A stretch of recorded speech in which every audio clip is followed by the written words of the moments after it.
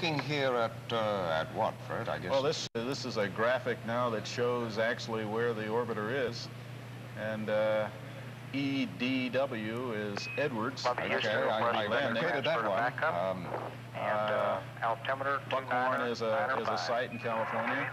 we're hearing the air-to-ground exchange here, so this might bring us up to date. Roger, and the uh, surface This wind is is mission calm. control, and the Capcom in the middle. That's in Houston, Texas. Yes, that's in Houston. It, and the Houston is in control right up to and through landing, right? They will take it through landing, uh, and at the, at some point after landing, the the uh, crew at the ground at Edwards will take over. Uh, We expect the uh, four-man crew, first four-man crew of the shuttle. In fact, uh, it is correct to say not that this is the first four-person crew ever launched uh, at the one time anywhere. I, I, I think that's true. Ah, here it uh. There they are, on the way back. First sighting there, uh, one of the uh, telephoto lenses has picked up the orbiter back after five days in space, uh, about to land at Edwards Air Force Base, California. Um, and we're probably crossing to another camera. Now, there base in California right now. Um, I guess it's because of the time of day that that cloud cover looks as heavy, thick, and dark as it is. Control stick We're looking to the east, Yeah. and so we're looking through an awful lot of clouds. It might not be that bad if you look straight up. Well, if we're picking up the orbiter this clearly, this early, I guess it uh, it can't be that dark. Uh, that uh, It that appears heavy to me cover. as though the orbiter is in the in that final turn now to uh, runway, and those pictures, as a matter of fact, are being t taken from our chase airplanes, T-38s. So Um, the chase airplanes have joined up with it, and this is live from from from air. Do we know who, who's flying in the chase No, planes? Uh, I, I, I It's don't. often J- uh, John Young, I know, uh, has well, been in a John couple of John will fly the weather airplane and will uh, make a determination of as to the, to the shears and winds and things like that. Well, look, someday, Fred, you'll, uh, in the next, uh, you know, year or two, will be there at the controls, bringing in the shuttle. So what is the pilot doing now? Is it is it on uh, computer control? Gs Is it uh, entirely in the hands of the pilot? What? in the hands of the pilot. He's following navigation aids. An airspeed at 275 knots.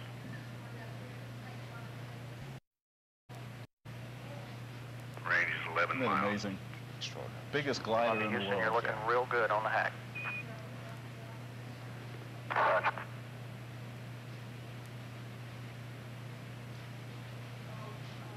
Out of 18,000 feet now at an airspeed of 260 knots.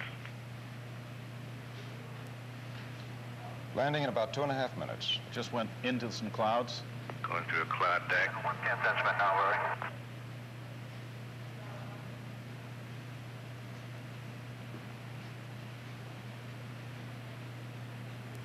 14,000 feet. Okay, we show you right on the glide slope.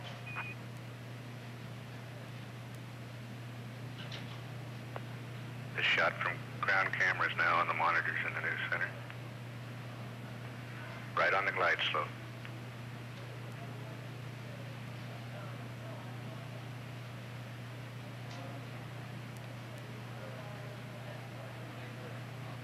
Nine thousand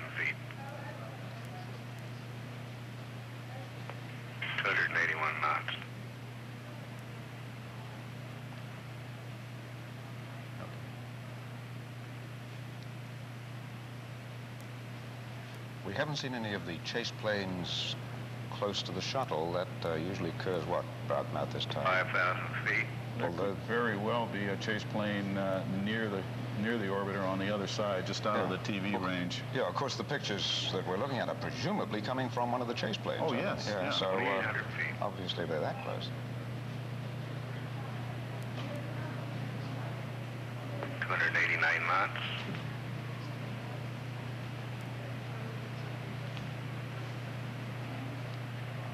Begun his flare and he's dropping his gear now. Gear down. Show the gear locks now.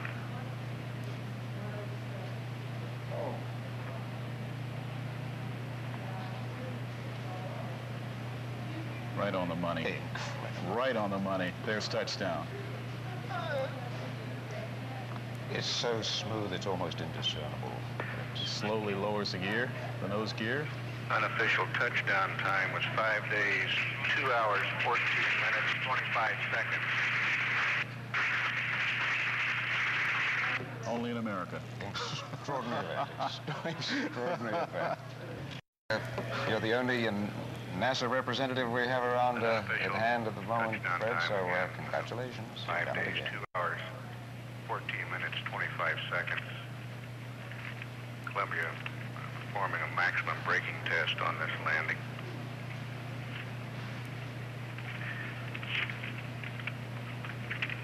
Maximum braking to see how, Hey, uh, Roy, are we down how quickly they can stop it. Uh-huh. Absolutely. It was beautiful, and you certainly lived up to your motto this flight. Welcome home. We deliver. Yep, yep. Five days, back from work. We delivered. Nice to be back. Well, about 40 minutes from now, we uh, should see the crew disembark. There are a number of procedures uh, before then. In the room here, and we're There's a large convoy that will come up behind the orbiter for cooling and uh, purging. Got to wait for everything to cool down a little, don't you? Yes, and before they'll also sense if any uh, toxics or hazardous materials are in the vicinity of it, and then they will get the white room up to that front hatch, and you can see that right under the windows, as quickly as possible to get the crew out of there. Looking at that landing, I'm reminded of uh, some of the concerns that were expressed before the first launch of the first shuttle. People said, uh, we're going to have a look at the replay of that landing if we can. Uh, it was so smooth, I think. Uh, which until now has probably been the uh, you know 10 out of 10 landing. Um, If you look, you can see some of the moisture on the on the desert down there. The, Yeah, the the- darker blue is is water. That forced the landing on the hard surface. Yes. don't? Looks like we're almost routine on hard Yeah. surface now. Um, I remember we were saying back then, uh, before the first landing, that it was going to be like landing a, a ton of bricks or something, and all sorts of concerns. It was going to be very bumpy, but uh, that has not proved to be so. Uh, evidence of which we're about to see in a replay of the landing of about uh, two or three minutes ago.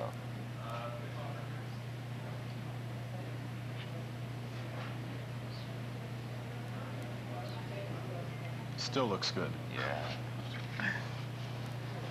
That that sunburst uh, shot behind, I, I I don't know if that's the dawn coming up. I can't quite work out the angle. Well, the sun is to the orbiter. You can see the shiny side, uh, so the sun is to this side of the orbiter. Must have been reflecting off the surface. They made a very Yes. striking sort of uh, sunburst picture at the moment of landing, at the moment of touchdown.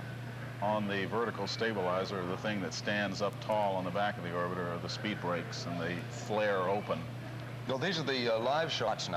This is some of the, well, just uh, one of the pieces of equipment in that convoy just drove by. Yeah, about 20 trucks or so in, in Quite a lot. Or, or it, or correction, I think it, it's 20 people, something like 40 trucks. It's, it's quite a long convoy, and uh, you see it starting to assemble. The main vehicles advancing more closely to test, as you say, for any uh, toxic uh, gases or anything. Right.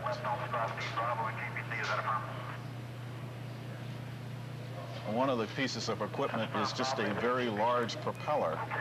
And if there are some uh, toxic or hazard materials around, they will start the propeller just to blow the, blow the air, to blow that air away. I think that's what that vehicle is in the lower center. Well, uh, fairly routine procedures are now underway after a, uh, I guess we can call it a routinely smooth landing. Very Um, sesuccessful. Very Remarkably successful, landing. Uh, an extraordinary uh, event, uh, an extraordinary achievement of technology and science. Still Yes, to be able to yes. go from Mach 26, as you say, to a perfect pinpoint landing at Edwards.